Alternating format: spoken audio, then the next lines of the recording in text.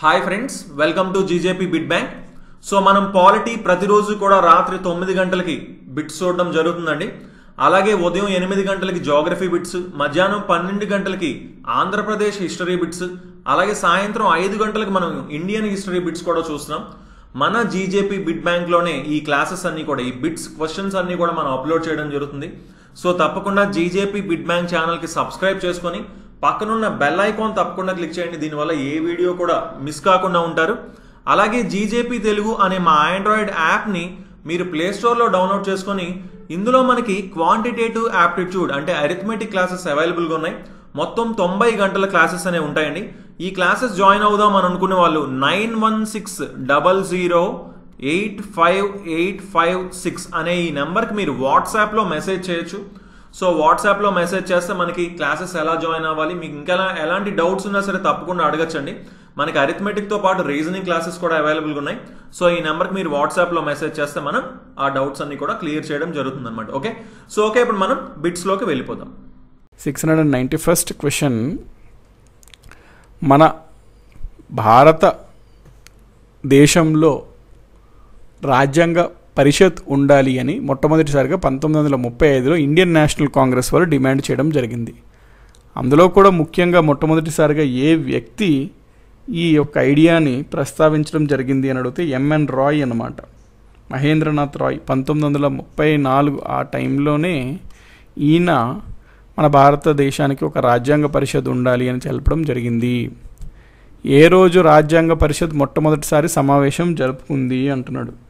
మనకి తొమ్మిది డిసెంబర్ పంతొమ్మిది వందల నలభై ఆరులో రాజ్యాంగ పరిషత్ తన యొక్క మొదటి సమావేశాన్ని జరుపుకుంది.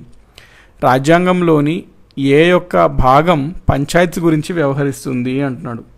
పంచాయత్స్ అంటే గ్రామం మండలం జిల్లా ఇవన్నీ పంచాయతీల కింద వస్తుంది. పంచాయతీల గురించి ప్రస్తావించే అధికరణ part nine. Part nine deals with panchayats. ఇది మనకి డెబ్బై మూడవ రాజ్యాంగ సవరణ ద్వారా మనం చేర్చామన్నమాట రాజ్యాంగంలోకి. పార్ట్ నైన్లో మనకు ఆర్టికల్స్ టూ ఫార్టీ త్రీ నుంచి టూ ఫార్టీ త్రీ ఓ వరకు ఉంటాయి అధికరణలు. Which of the following articles of the Indian constitution provides protection to the accused regarding conviction from double bar and self incrimination double bar అంటే ఒకే నేరంకు రెండుసార్లు శిక్షను విధించడం. So అది తప్పు. దానికి అండగా ఒక అధికరణ ఉంటుంది ఆర్టికల్లో. అదే ఏంటి అని అడుగుతున్నాడు. నెంబర్ వన్ నెంబర్ టూ మనము మనకి వ్యతిరేకంగా మనమే సాక్ష్యం చెప్పడం కూడా అది నేరం. దాన్ని మనకి ఎవరు బలవంతం చేయకుండా మనకి రాజ్యాంగమే ప్రాథమిక హక్కు విధించి ఇచ్చింది. సో దీని గురించి తెలిపే రెండు అంశాల గురించి తెలిపే అధికరణ ఏది అని ప్రశ్న అడుగుతున్నాడు. ఈ రెండిటి గురించి మనకి తెలిపే అధికరణ ఆర్టికల్ ఇరవై వస్తుందండి. పాయింట్ ఇది మీకు అర్థమైంది కండి. ఏ ఆర్టికల్ ద్వారా మనకి రెండుసార్లు ఒకటే నేరంకి రెండుసార్లు శిక్షించడం మరియు మనకి వ్యతిరేకంగా మనమే సాక్ష్యం చెప్పుకోవడం తప్పుగా చెప్పబడింది అంటే ఆర్టికల్ ఇరవై.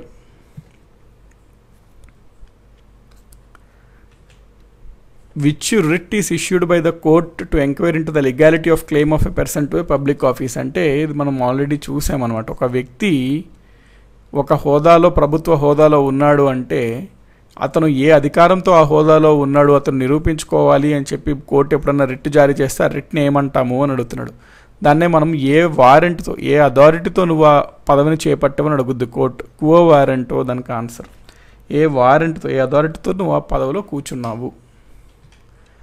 రైట్ టు ఈక్వాలిటీ సమానత్వపు హక్కుల గురించి తెలిపే అధికారంలో మన భారత రాజ్యాంగంలోని ఏవి? మన భారత రాజ్యాంగంలోని పద్నాలుగు నుంచి పద్దెనిమిది వరకు రైట్ టు ఈక్వాలిటీ గురించి తెలుపుతాయి. సమాన హక్కులు సమానత్వ హక్కుల గురించి ప్రస్తావిస్తాయి. Which act provided for right to vote to women మహిళలకు ఓటు వేసే హక్కుని మొట్టమొదటిసారిగా క్రింద ఇచ్చిన వాటిలో ఏ చట్టంలో తెలుపబడింది అని ప్రశ్న అడుగుతున్నాడు. మనకి మొట్టమొదటిసారిగా మహిళలకు కూడా హక్కు ఇవ్వాలి అనే ఉద్దేశం పంతొమ్మిది వందల పంతొమ్మిది గవర్నమెంట్ ఆఫ్ ఇండియా భారత ప్రభుత్వం చట్టం పంతొమ్మిది వందల తొమ్ పంతొమ్మిదిలో తెలపడం జరిగింది.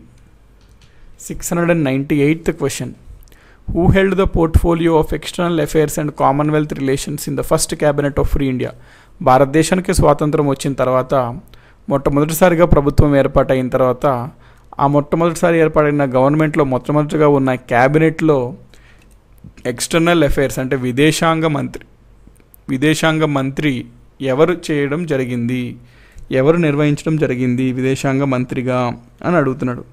మనకి పిఎం దగ్గరే ఈ పోర్ట్ఫోలియోని మంత్రిత్వ శాఖను ఉంచుకోవడం జరిగింది. సో పిఎంఏ ప్రైమ్ మినిస్టరే ఎక్స్టర్నల్ అఫైర్స్ యొక్క మంత్రిత్వ శాఖ కూడా చూసుకునేవారు. సో పిఎంగా అప్పుడు జవహర్లాల్ నెహ్రూ గారు ఉండేవారు. అతనే విదేశాంగ మంత్రిత్వ శాఖ కూడా ఆయన కిందే ఉంచుకోవడం జరిగింది. Six hundred and ninety ninth question క్రింద ఇచ్చిన వాటిలో సైమన్ కమిషన్ చెప్పినటువంటి రికమెండేషన్ ఏది కాదు అని అడుగుతున్నాడు. నవంబర్ పంతొమ్మిది వందల ఇరవై ఏడులో బ్రిటిష్ ప్రభుత్వం సైమన్ కమిషన్ ఏర్పాటు చేసింది. ఇందులో ఏడుగురు సభ్యులు అనమాట చైర్మన్ వచ్చేసరికి సర్ జాన్ సైమన్. అందుకనే మనం దీన్ని సైమన్ కమిషన్ అని అంటాము. ఈ సైమన్ కమిషన్ ఎందుకు విధించడం జరిగిందంటే పంతొమ్మిది వందల పంతొమ్మిదిలో బ్రిటిష్ ప్రభుత్వం మన భారతదేశంలో అమలు చేసినటువంటి భారత ప్రభుత్వం చట్టం పంతొమ్మిది వందల పంతొమ్మిది ఏ విధంగా ఇక్కడ అమలవుతుంది ఏదైనా సూచనలు చేయాలా అని కమిటీ వేశారు. ఆ కమిటీ ఏం సూచించింది అంటే డయార్కీని తీసేయమంది. డయార్కీ అంటే ద్వంద్వ పాలన తీసేయమంది. దాంతోపాటు ప్రొవిన్సెస్లో ప్రాంతీయ అటానమీ ఇవ్వడం జరిగింది కండి. వాటిని ఇంకొంచెం విస్తరణ చేయమంది. ఇది రైటే. ప్లస్ మనకి కేంద్రం రాష్ట్రాలు అట్లా చేయమంది అనమాట అంటే దాంట్లో భాగంగా ఫెడరల్ వ్యవస్థను తీసుకొని రమ్మంది. అంటే కేంద్రం రాష్ట్రాలుగా పెట్టమంది. సో ఇది తెలిపింది Simon commission communal electorate communal electorate అంటే మతపరమైన నియోజకవర్గాల విభజన అనేది ఉండేది అప్పుడులో. దీన్ని రద్దు చేయండి అని చెప్పిందా అని అడుగుతున్నాడు. చెప్పలేదండి. ఇది ఇంకా పెంపొందించమని చెప్పింది సైమన్ కమిషన్. కాబట్టి మనకి ఏది చెప్పలేదు సైమన్ కమిషన్ అంటే ఇది చెప్పలేదు ఇవి మూడు చెప్పింది.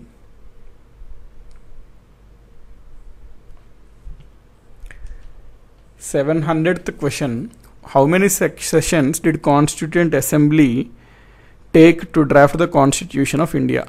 మన భారత రాజ్యాంగంని తయారు చేయడం కోసం భారత రాజ్యాంగ పరిషత్ ఎన్ని సమావేశాలను చేసుకుంది ఎన్ని సమావేశాలను తీసుకుంది మొత్తం రాజ్యాంగాన్ని తయారు చేయడం కోసం అని అడుగుతున్నాడు. మొత్తం పదకొండు సమావేశాలు తీసుకుందండి రాజ్యాంగ పరిషత్. పదకొండు సమావేశాలు తీసుకొని రెండు సంవత్సరాల పదకొండు నెలల పద్దెనిమిది రోజులు పట్టింది రాజ్యాంగం తయారు చేయడానికి.